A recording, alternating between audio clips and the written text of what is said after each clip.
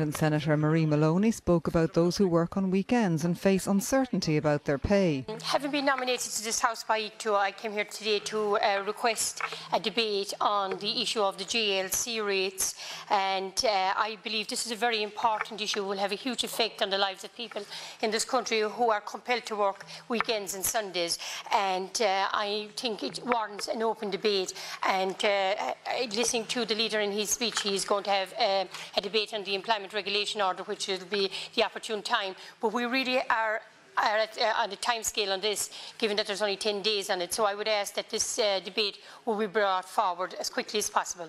Thank you.